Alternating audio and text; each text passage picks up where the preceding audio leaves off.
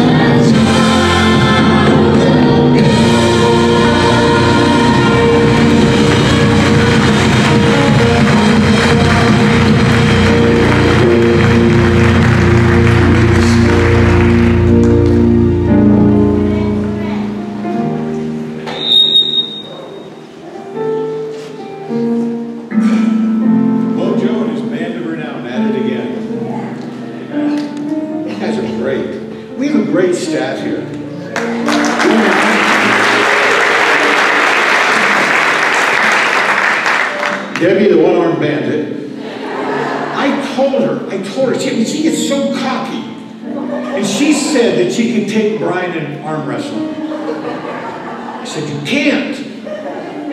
And she lost. She lost. Oh, so good to be with you today. And you know, some things are inevitable. That's just the way it is. Some things in life are just inevitable.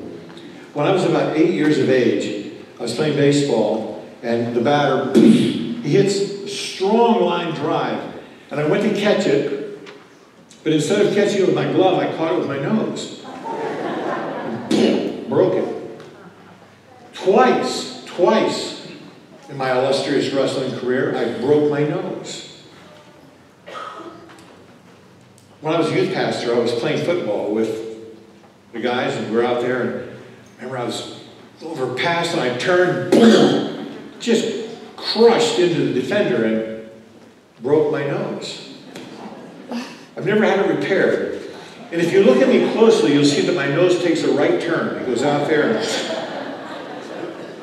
Because when you have a honker on your face this size, some things are inevitable. It's going to get broken. That's just the way it is. You head out on a trip, and if you're going any distance at all, if you don't fill your tank, you're going to be stranded alongside the road. It's just inevitable. You go to the grocery store, you fill your cart with groceries, you get in line, you know, you wait three, four months, you get up there, and you go for your wallet, and you don't have it. Who's been in that boat? Thank you. I was just that way at Giant Eagle here. But be, I caught on before I got in line. So I went, I parked my cart, and I drove home, got my wallet, went back, oh, look, there's a cart full of groceries, I'll take them. got line. It's just that way. You know, you can't go anywhere, do anything on empty. You got to have something. 2,000 years ago, it was inevitable. You had so many people that were against Jesus, screaming, Crucify him. They didn't like him. And so, after a trial and false witnesses and all that, it was inevitable that he was going to be crucified. What they didn't know, that it was inevitable that he would rise again. And all of a sudden, they started to see empty in a different light. Now, here we are. We're carrying on the theme that we started last week. But truthfully, isn't that what we do every week? This is Resurrection Sunday. Next week will be Resurrection Sunday. We don't celebrate Shabbat or the Sabbath on Saturday. The church started celebrating on Sunday because we recognize that Jesus Christ left the tomb empty. But he left the tomb empty so that we could live our lives full. The tragedy is many aren't. So I want to talk a little bit about that this morning. Let's look at our scripture in John chapter 20. On the evening of that first day of the week, when the disciples were together with the doors locked for fear of the Jewish leaders, Jesus came and stood among them and said, Peace be with you. After he said this, he showed them his hands and side. The disciples were overjoyed when they saw the Lord. Again, Jesus said, Peace be with you. As the Father has sent me, I am sending you. And with that, he breathed on them and said, Receive the Holy Spirit. Pray with me. Father, most of us here probably know, at least intellectually, that you give life. And that we're not meant to run on empty, but the fact that you left the tomb empty means we can run full. Pray, Lord, that you would turn the light bulbs on in our minds this morning. Give us a fresh understanding and give us a boldness to live life as you intend. We give you the praise. in Christ's name. Amen. Let's talk about some things that come out of the fact that we can live life to the full. What happened when he left that tomb empty? First of all, he gives us this peace that is lasting. Now, um, that's not like it's some new insight to us. We always talk about the fact that God gives peace. Think about this scenario here. The scripture says they, these disciples are in a locked room, locked the door, they're scared to death. I mean, they saw what happened to Jesus, and keep in mind, they all bailed except for John. None of them were there to support him. And they're thinking the same thing that happened to him could easily happen to us. They, they watched the week unfold. They watched Jesus Christ come into Jerusalem as a hero, having a big parade. They watched him mix all week with people and teach. They shared a nice meal with him, but then they also watched Judas betray him. They watched false witnesses get up and lie about him. They watched him getting beaten, mocked, and crucified. But then, as we talked last week, Mary, Mary Magdalene, Salome, they come, and boom, the tomb is empty. Peter and John come and confirm it. Now, what do they do with this? This doesn't all make sense. And so they're hiding in this room, not sure what's going to happen. And all of a sudden, Jesus shows up.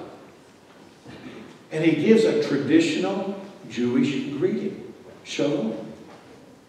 I go to Israel today, it's going to be the same. Shalom. If I'm saying goodbye, shalom, shalom. Peace be with you. This is important.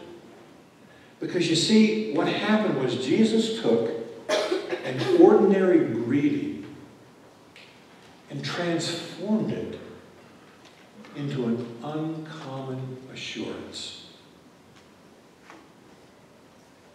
Instead of you guys having to cower in fear, I'm saying, peace be with you. And there's also a part of me that wonders, did any of them think, you remember, you remember back when you were in school and how saintly you were? Yeah, you laugh because you know that you weren't. And when the teacher left the room, chaos broke out. You did whatever you wanted, and then all of a sudden the teacher walks back in the room. Whoops! Think about this. Again, the disciples had abandoned Jesus. They abandoned him, except for John.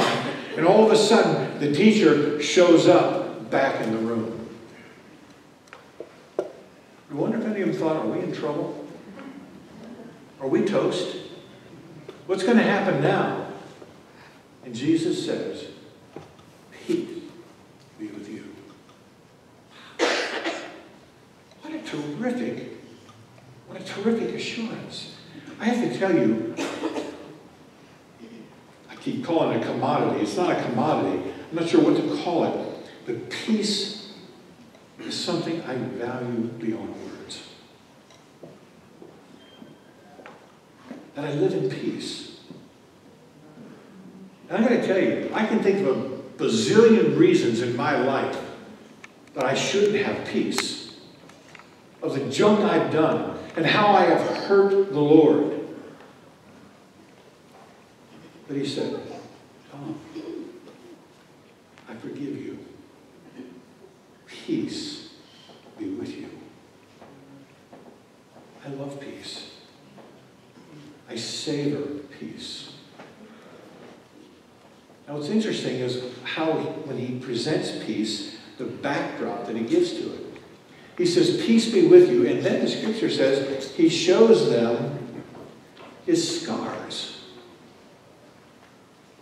Now, you know, have you ever gone online and you, you want something to kind of give you peace and you have the soothing music and nice pictures, tranquil pictures? How many of you go online to online or on the internet to kind of have something peaceful and look at scars?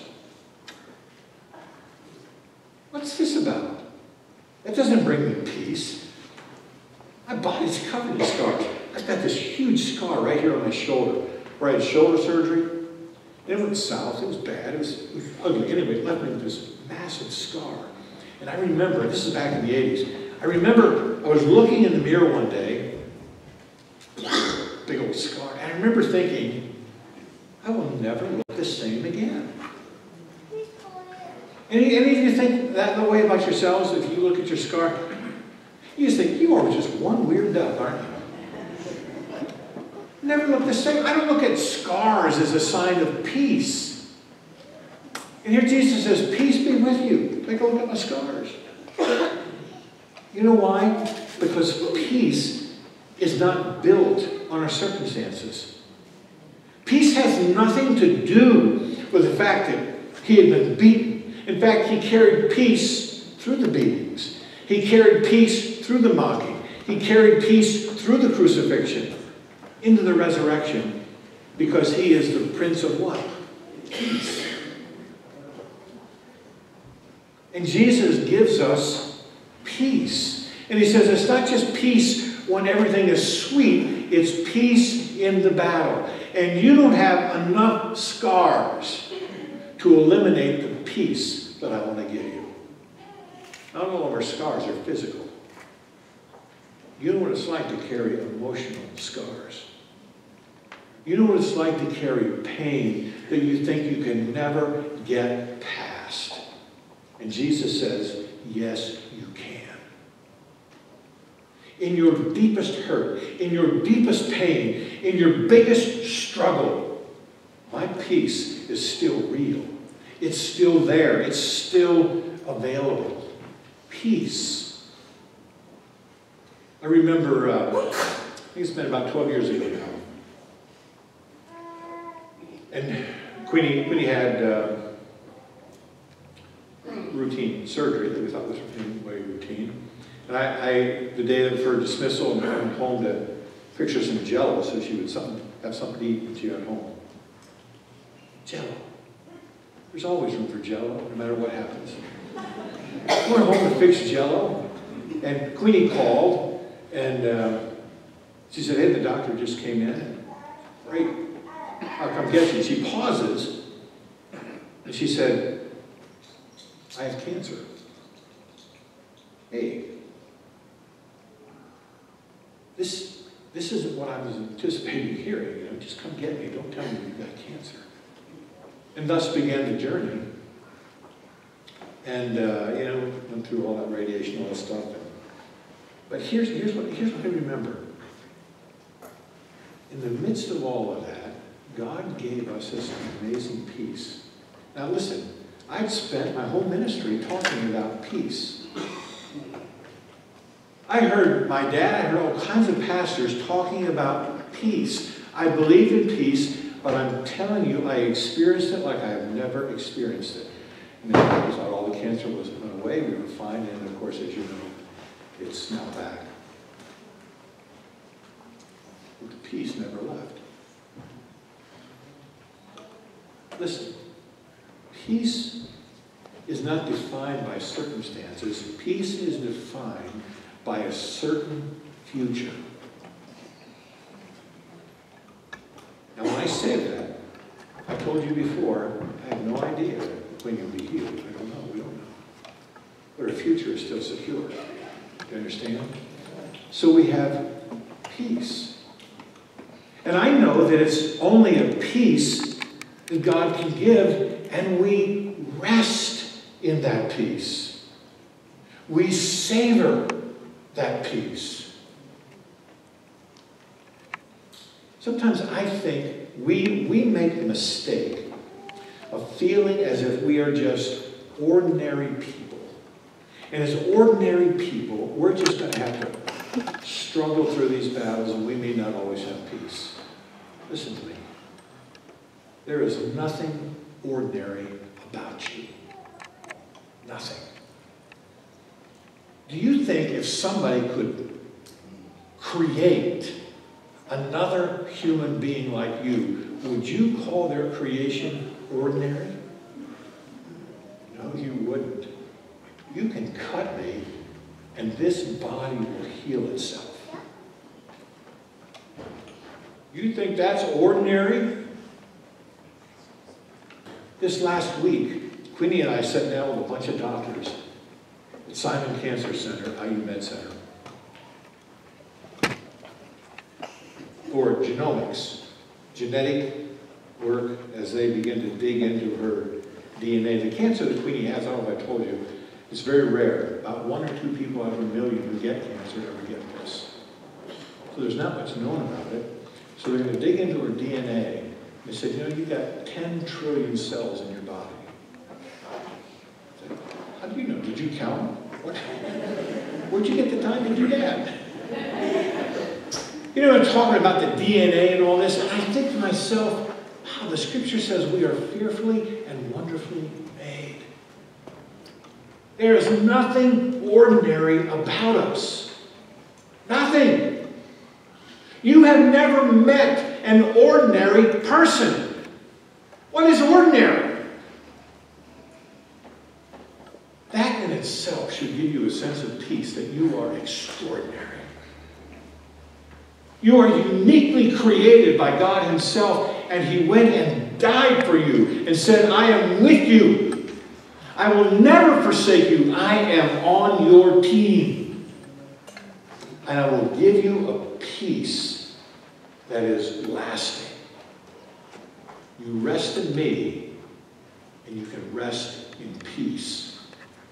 Well, then he goes on and he says, not only this peace that's lasting, but he says, I'm going to give you a purpose that will really satisfy you. Now, again, I'm trying to put myself in the disciples' shoes, and he says to them, he says, As the Father has sent me, so I'm sending you.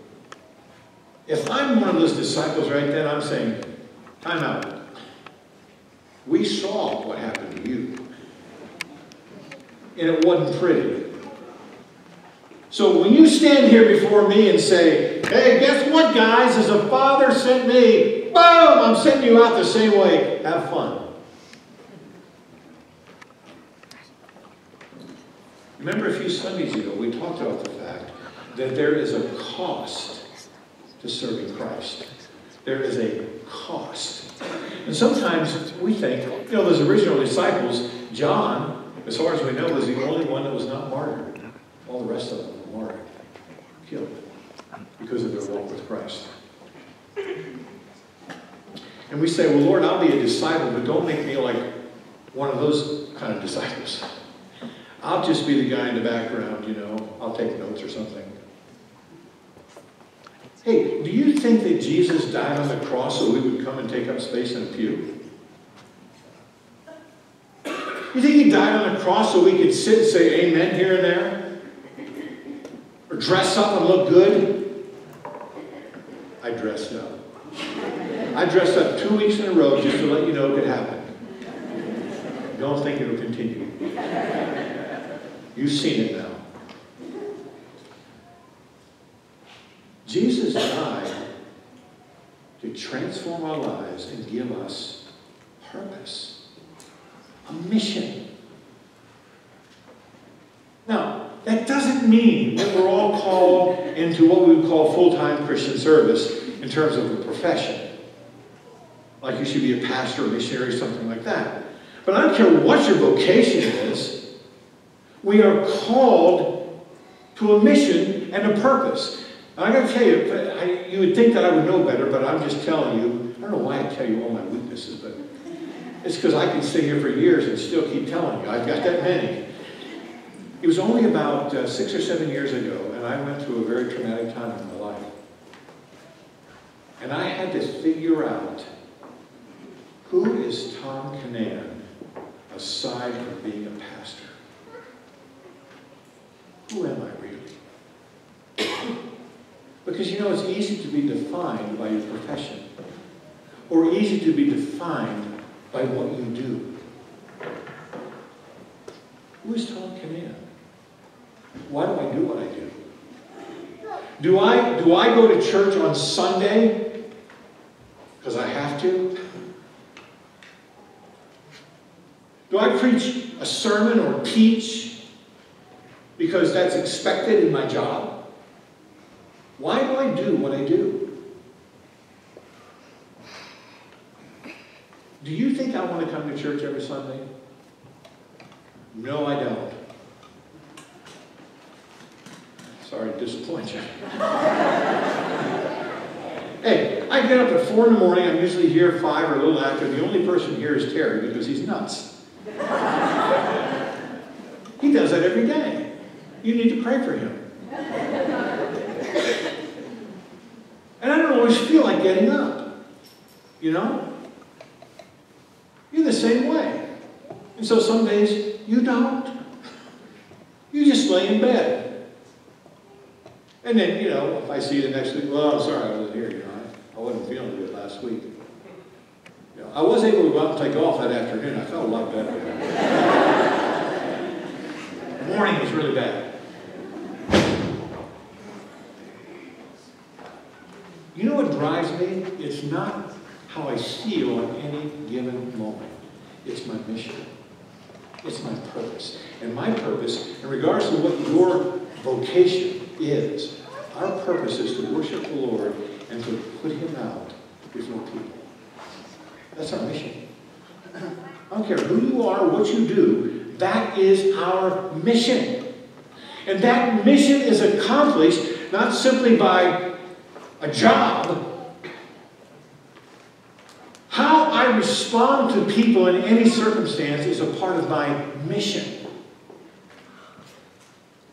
And if people come at me with disdain or hate or bitter words or whatever, how I respond now is going to be consistent or better be consistent with my mission, and that is to put Christ before them. I better respond in a loving, Christ-like manner. I need to see the Lord in every. I was in. I was in. Uh, I was Rite Aid, right down the street over here. I get all turned around here that way, I think. So I walked in. I'm looking, looking. I can't find what I want, and I see a lady over here in a wheelchair, but she's got the Rite Aid tag on. You know. I said to her, "Hey, I'm looking for." She said, "Oh yeah, I know where it is." And she stood up and started walking over. I said, Did I just witness a miracle? oh, she said, No, I was just warming the seat. but you know what? I got to tell you, before I said that I just witnessed a miracle, there's part of me said, Don't say that to her. She'll think you're religious. You know what I'm saying? Anytime you want to put something out that might honor the Lord, stop it. But that's our mission. Put it out there. I told her, I said, I wish I had just seen a miracle. And I can do it. What is your purpose?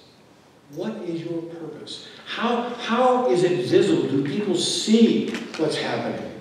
I read this story. Uh, a Scotsman came over to demonstrate the game of golf to President Ulysses S. Grant.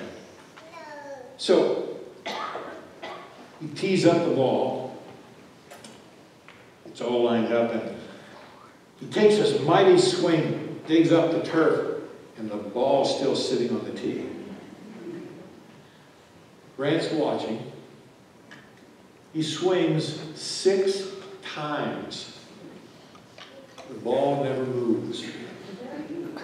Finally, Grant says, he says, well, it seems like there's a lot of exercise with this game, but I fail to see the purpose of the ball.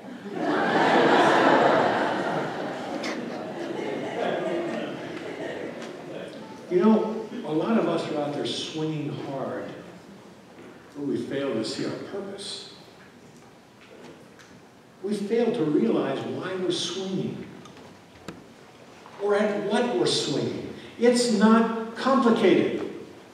Our mission, our purpose is to present Christ, to lift Him up. Our words, our actions, everything we do, regardless of vocation, we lift Him up before people. That's my mission. And I don't want to lose sight of it. And I'm telling you, I can lose sight of my mission just doing my job. That's why I told you I don't preach sermons. I'm going to give you a message. Anybody can preach a sermon. But I better be listening to God because I have a mission. And I better be telling you what He's telling me because I have a mission. Do you understand the difference? That's why you and I need to be in tune with the Lord. So when we're talking to people, we're not just throwing words out or stuff we heard, we talk to God. I open His Word and I hear from Him. We have a mission.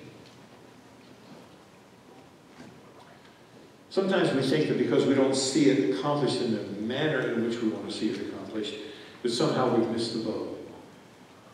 Hey, I've lost, uh, you know, a lot of skirmishes. And I've had a lot of dreams. I tend to be a dreamer. And I remember back in the 80s, uh, I really felt like God gave me a dream and a mission on a in a particular avenue to reach out and begin to help pastors who were struggling. Because there's a lot of unique stresses and strains that go with pastoring. And uh, so I began planning, and we were planning this conference called Still Waters for pastors and uh, addressing some of the issues, and we worked hard on this. Spent a lot of money on it. About two weeks before the conference was to occur, I canceled it. Because I didn't think that the three registrations that we had were going to carry the day. I'm talking about a total bomb. Bomb. Failure. I said, Lord, what, what's the deal here? You know, I thought I heard from you. Did my best, and we just totally. Well, fast forward now about probably 10, maybe 10 to 12 years past that point. And I was at Southern Wesleyan University. And uh, again, felt this need to help pastors. I was working with them quite a bit at that point. So we started, guess what? We started Still Waters, and it flourished. And God gave us a lodge called Eagles Rest. We helped hundreds of pastors and families through all kinds of crises and needs. Um, I think, okay, so a part of that dream here was a total bomb failure. Over here was a great success. What was the difference? I think one thing, and, and every, every situation is different, so I'm, just telling you in my situation. One of the things that God has to do before He can bring the mission into a success point for us is we've got to be emptied of ourselves. And while I saw God's mission over here, I thought I could pull it off. And I clearly couldn't. When we do God's work, please don't ever try to do it on your own. Please don't. God has His timing. He hasn't worked out. Don't think that the dream you have is something you need to put aside. God has a time. Make sure that He's the one who's making it happen, and He will make it happen. With that, there is something that ties us together. He talks about the fact that we have this peace It won't go away. We can have this purpose that will bring us satisfaction, a sense of fullness to us. But it's because there is a presence that's transforming. He looked at his disciples and he said, the scripture says, he breathed on them and said, receive the Holy Spirit. You know what brings back my mind? Remember we talked about a few weeks ago when God himself kind of leans over that bunch of dirt and he goes, And he breathes into it, and humanity is born. Adam comes to life. He needed to remind these guys that life was still available. And he breathed life into them. He breathed the Spirit into them. One of the things that humbles me, I think maybe I've told you, I don't, I don't remember, before God ever committed to recreate us through Jesus Christ, or before he committed to create us, he had first committed to recreate us through Jesus Christ. The scripture says in Revelation, it talks about the lamb that was slain before the foundations of the earth. So before he ever breathed life into Adam, he had already committed to go to the cross for us. That's mind blowing to me. Why would he do that? Those of you that are parents, have you ever felt like you were a failure? I've never met any parent that hasn't felt like that at some point or another. And yet we keep having kids. You see other people's kids that are bad because ours aren't. You see these other kids that are bad and you say, let's have kids. You're single and you see all these divorces and you say to the one you love, let's get married. You're nuts. You understand love. You understand why Jesus, why God would say, I'll go to the cross even before he breathed life into Adam. Because love compels us. Does love compel us to engage in our purpose? To put life before people? To let them know about the presence of God Himself who will breathe into us the Holy Spirit so that we can be full. Have you, have, you know, when Thanksgiving comes around, I enjoy a good Thanksgiving dinner. And I have eaten Thanksgiving dinners to the point that I am so miserable.